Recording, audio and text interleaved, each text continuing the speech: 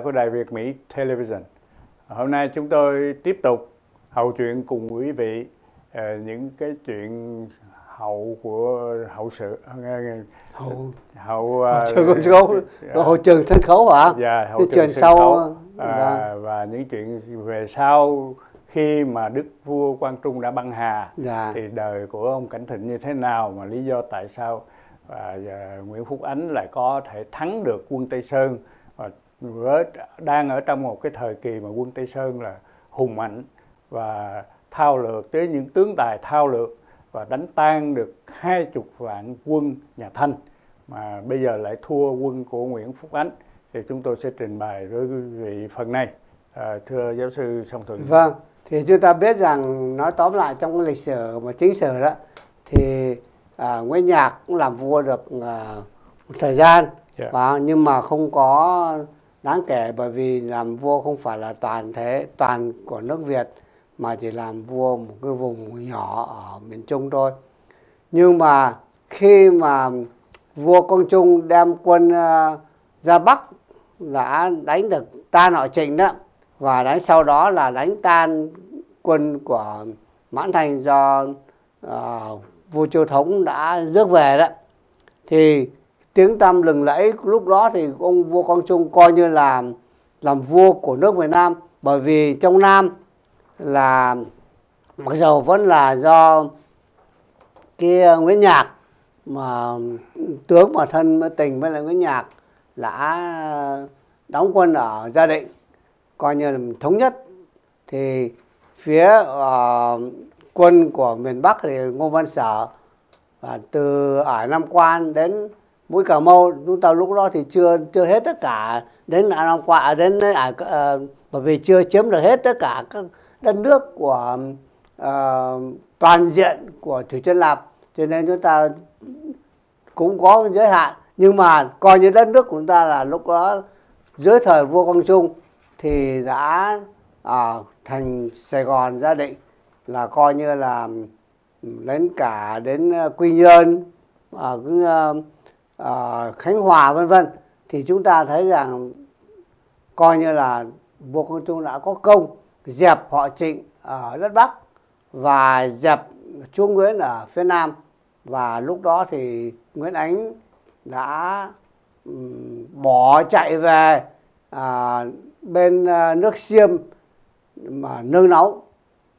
Thì chúng ta coi như là mặc dù rằng vua Quang Trung làm vua 4 năm và vua Cảnh Thịnh làm Cảnh Thịnh đó con của vua Quang Trung đó lên làm vua thêm 10 năm nữa. Thì cái đời à, làm vua của triều đại Nguyễn à, gọi là Tây Sơn đó, Nguyễn Tây Sơn đó, thì rất ngắn ngủi chỉ vòn vẹn.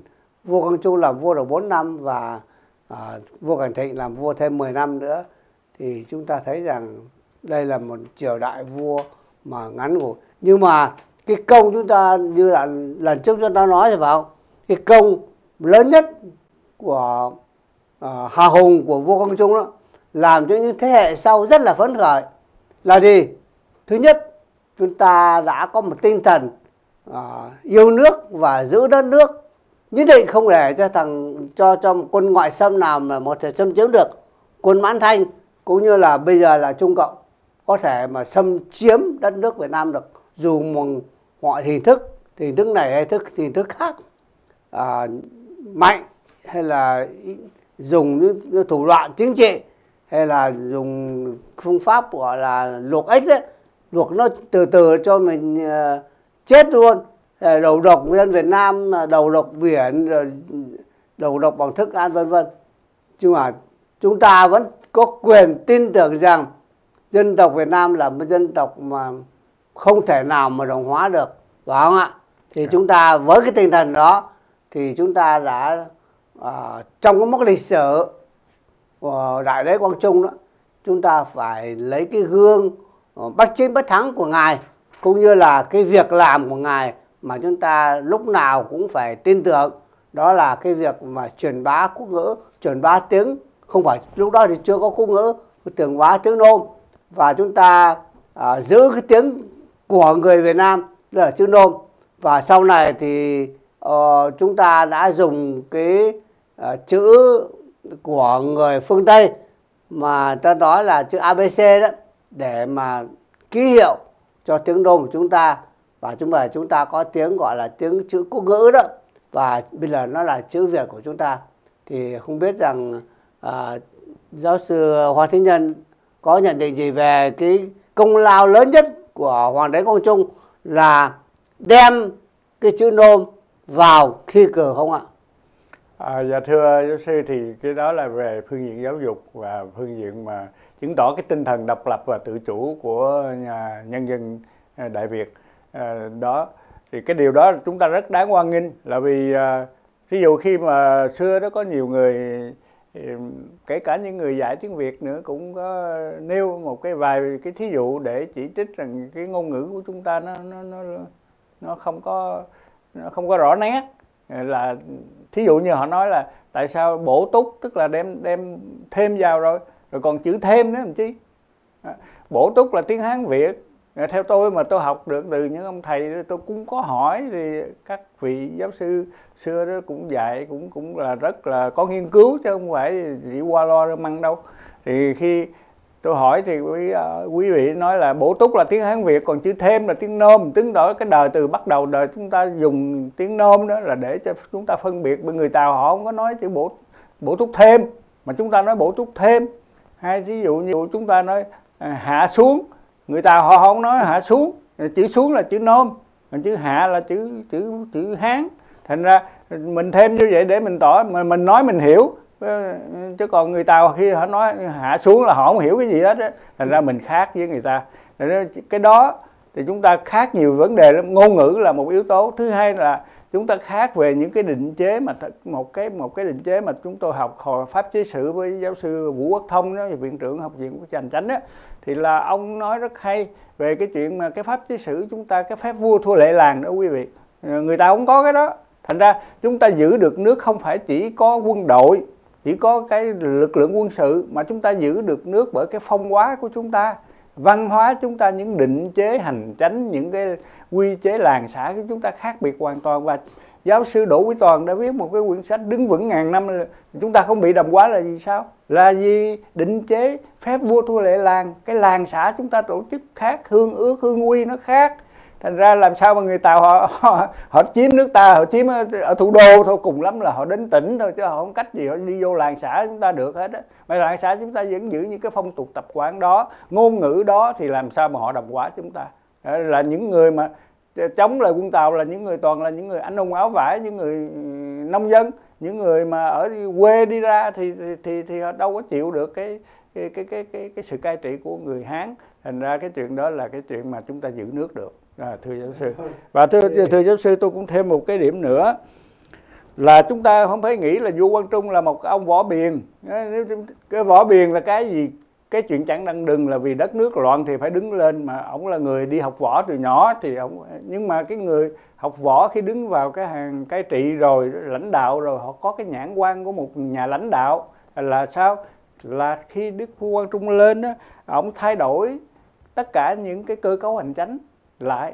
Nghĩa là có những cái bế tắc chứ. Tôi là người học hành chánh tôi biết là giải quyết hành chánh nó nó nó không phải dễ dàng đâu nó bế tắc nhiều lắm. Luật thì nói thế này nhưng mà thủ tục lại nói thế khác. Rồi mình làm nhiều khi nó trật luật thì cũng có thể bị ở tù.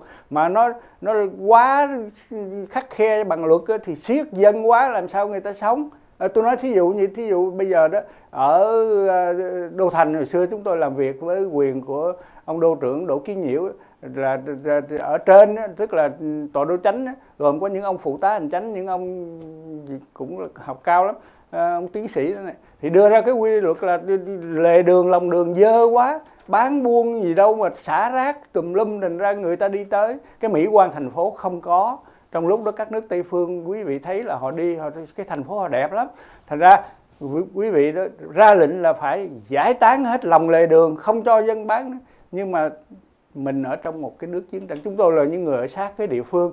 Ở trong nước chiến tranh thì dân nghèo từ quê họ chạy về thành phố họ kiếm ăn họ bán gánh bán ờ, gồng bán xe đẩy bán ờ, mì gõ bán ờ, phở chui phở chạy. Thì bây giờ mình đuổi người ta đi hết lấy gì người ta sinh sống. Thành ra à, rồi giải quyết cái nạn những nạn nhân chiến tranh đó họ tự kiếm sống mà. Thì làm sao đấy? Mình đâu có tiền đâu mà nuôi được hết cả một số dân khổng lồ. Thành ra chúng tôi nghĩ ra cái cách là bây giờ tuân hành lệnh thì mình cũng phải tuân hành cái luật ờ, mỹ quan thành phố. Nhưng mà mình sắp xếp lại cho người ta bán những cái chỗ nhỏ nhỏ ở trong hẻm ờ, thì, thì thành ra thành phố chừa lại một cái khoảng trống để cho người ta đi bộ và sạch sẽ và, và bắt những người buôn bán đó họ phải lượm rác họ phải trả cái tiền chi phí rác. Thành ra nó sạch trở lại và nó cũng không có đuổi dân đi mà một cách rất là tàn bạo. Thì chúng ta thấy rằng cái chuyện là vua quang trung có cải cách hành chánh từ trung ương đến địa phương rồi về kinh tế tài chính người cũng có khuyến nông trọng thương giảm thuế khóa phát huy văn hóa. Thì chúng ta thấy đó là cái tầm nhìn của một nhà lãnh đạo chứ không phải là một người bỏ biền thưa giáo sư. Vâng thì à, như lão sư hoàng thiên nhân đã phân tích đó thì chúng ta thấy rằng à, một người mà biết binh thư một người mà trọng nhân tài và đã tiên đoán được như là đánh nước cờ đi ấy, đã biết được là quân thù nó sẽ đi tôi suy nghĩ sẽ chạy về hướng nào hướng nào. Và biết đánh à, đông dương đông kích tây không phải là một người võ biển không đâu. Người ta nói là um, võ biển những người gọi là vào gù thịt bắp đó thì đức quang trung không phải là những người như thế. Mà ngài là văn võ kiêm toàn bách chiến bách thắng. Bởi vì khi ngài đã ra quân đó, là đã tiên đoán rằng địch sẽ dồn tức là khi người ta đánh nhau các vị tướng giỏi ngày xưa đó, khi đánh nhau thì làm sao cho địch nó đi vào cái thế của mình để mình đánh nó chứ không phải là là mình đi theo nó. Nó, nó sẽ dẫn dụ vào mình vào cái cảm bẫy của nó không đâu mình phải hướng dẫn nó. Vào cái này cho nên khi mà chúng ta đã lần trước chúng ta nói rồi là khi vua công trung chia năm đạo quân ra tả hữu tiền hậu và trung ương đó thì khi tiến quân như thế thì ông đã à, sách trường trọng kim không nói rõ nhiều cho thầy thấy rằng khi ông chia quân thế không phải là ông đánh là đánh đâu chia quân là đánh quân của Ký Châu không phải đánh quân Ký Châu mà ông quật ngang sang đánh uh, Đống Đa phải không ạ? Right. Vâng. Mà cái ngày mà ông đến à, mùng 4 tây mùng 4 tây mà ông đến Ngọc Hồi đó trong bắn ra mưa ông để cho bắn ông chơi và ông dương ông cái tây nó là cho mạnh cho quân sĩ gieo hò này kia làm uy thế như, như ờ, sắp trở đánh thằng đánh thành rồi đó. Nó không đánh ông cho nghỉ anh nghỉ ngơi. Đến hôm sau dạng ngày sáng ngày mùng năm tết là ông mới mới mới uh, đánh. Thì lúc đó chúng ta đã phân tích rồi.